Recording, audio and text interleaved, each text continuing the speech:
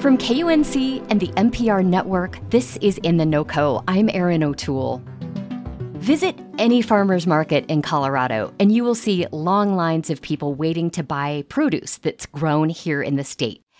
And when fall arrives, it is all about Colorado chilies. Just ask this woman I talked with at a farmer's market a while back. We love the season, just watching the, the chilies being roasted. We make green chili the first snowfall of every year.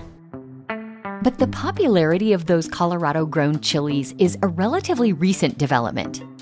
Although farmers in Pueblo have been growing different kinds of peppers for decades, Colorado didn't really have its own signature variety of chili pepper until the early 2000s, when a CSU agriculture professor named Mike Bartolo created the Pueblo chili.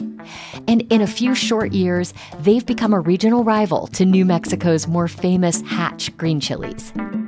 Now, as someone who loves the smell of roasting peppers in the autumn air, I was curious to know how Mike Bartolo developed the Pueblo chili and why he thinks green chili is such a source of pride for so many people.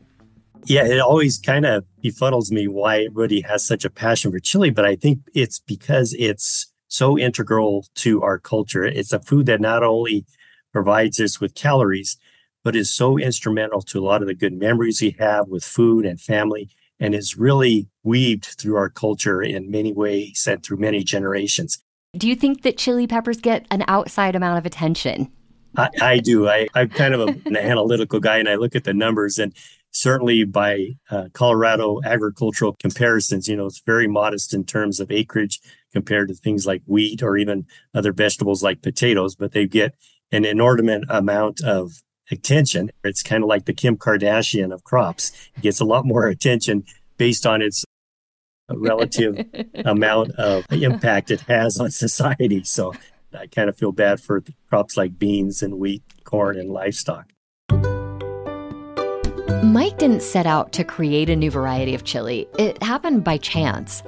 Around 30 years ago, Mike's main focus was researching things like water, nutrition, and pest management in agriculture. But one day, his father brought him an unusual gift a bag of chili seeds. It had belonged to his uncle, a man named Harry Mosco. He had passed away a couple years earlier, and while they were cleaning out his garage, they had a leftover bag of chili seed that was the original, what I call the heirloom mirasol, mirasol meaning looking for the sun in Spanish, chili seed. So this was a variety of chili that had been grown in the Pueblo area for decades and had been carefully selected by farmers in that area over you know many many generations. And he had a bag of that and it just so happened i had room in my test plots that that year to grow some extra chili plants. So i grew four extra rows of this chili. And in that population of that original mirasol chili was one individual pepper plant that looked unique. And that's really where it started. But i saw this one that was a little bit bigger in size had a little bit different uh, texture to the pod, thicker. And so I began saving the seed from that one individual chili pod. And that took about another seven or eight years before I eventually came up with enough seed uh, to release the Mosco variety. And then I just began giving out samples to farmers. I had grown up with a lot of these farmers, related yeah. to many of them, and I just gave them samples and tell me what you think. And they gave me an honest opinion, and it just kind of took off from there. I'm curious what makes a Pueblo chili um, different from other chili peppers. How does it look different or taste different? Well, you know, everybody will have a certain uh, idea of what the perfect prototypical chili pepper is. And if you're from New Mexico, you might say it's this. From and the chili pepper here in Colorado, I think, is a little bit technically a little bit thicker meated, so it has a okay. much uh, heavier body to it, and that holds up very well to the roasting process, which is mainly how it's it's prepared for different uh, culinary dishes. I think it's got some different flavor overtones. It's got kind of a fruity aftertaste to it. It's just a little bit different, and it's it's typically a little more pungent or a little bit higher in heat content uh-huh. than your typical New Mexico Anaheim chili. I guess the test is in the, the, if people are going to be able to use it and incorporate it into the, the, the dishes that they truly love. You know, New Mexico makes a very big deal out of its Hatch green chilies. So I have to ask, how do you feel about the rivalry with Hatch chilies from New Mexico? Well, I, I personally have very good friends in New Mexico, a lot of good acquaintances that are farmers and other researchers. And so, you know, to me, it, it's good for everybody. Anytime you can get more notoriety for a particular crop, everybody wins out on it. So, uh, the more attention that's given to chili growers, whether it be in New Mexico or Colorado, great. You mentioned cultivation. What are the ideal growing conditions? Um, and I'm, I'm asking for myself. Could I mm-hmm. grow Pueblo chilies in my own garden? Sure. Anybody can grow Pueblo chilies, eh? and Colorado is a great place. You know, we have some some challenges with weather as far as you know storms are concerned, but right. we've got some great, uh, at least in the Pueblo area and many other irrigated valleys. That we've got good irrigation water. We've got great, wonderful, productive soils. And then our climatic conditions, I think, are fairly unique. We got a fairly high elevation, so we get high incidence of solar radiation, good sun, and then we have what I think are some of the best diurnal variations in temperature, which means we get warm days and cool nights.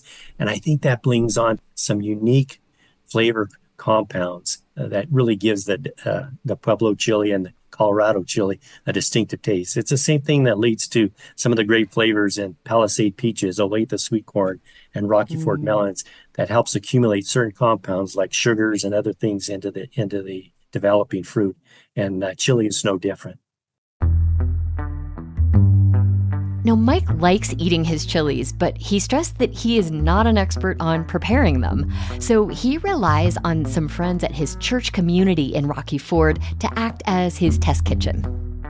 And I also rely on some chefs too. They're a very important part of this process too, because they're seeing things that I can't even begin to see. What does it mean to you to have created this unique variety of chili pepper and one that has certainly inspired a lot of passion and a lot of loyalty. Well, I, I never do think of myself as the, the creator, so to speak, of Pueblo chili because the story of Pueblo chili is really built by many hands. Peppers have been cultivated in this hemisphere for thousands of years by indigenous peoples, and they began to find these plants in the wild and do their own selection process. So it's through generations and eons of time it's the farmers who who came well before I did, my relatives, my grandparents and parents that cultivated this and and all the other farmers whose multi generations contributed to that story. And then it's the other end of the story too, where people that have taken the time to prepare the food and have done thousands of meals for their families over the generation. Mm-hmm. So everybody has contributed a brick into this so-called story of mm. the Pueblo chili. And I don't see myself as any more important or any different than anybody else. You know, I'll, I'll be gone. You know, I'm I'm in my 60s, and one of these days I'm going to be gone, and the story will go on because it's such an integral part of our culture. And I'm hoping other people will continue that legacy that was really handed off to me and to others uh, for a sh- relatively short period of time. Dr. Mike Bartolo is a retired vegetable crop specialist with Colorado State University Extension. You can read more about his work on the Pueblo chili, maybe before you head out to the nearest farmer's market to grab a few bags for yourself. We'll have some links in our show notes and at kunc.org. That's it for us today. I'm Erin O'Toole. Thanks so much for listening. Have a great weekend.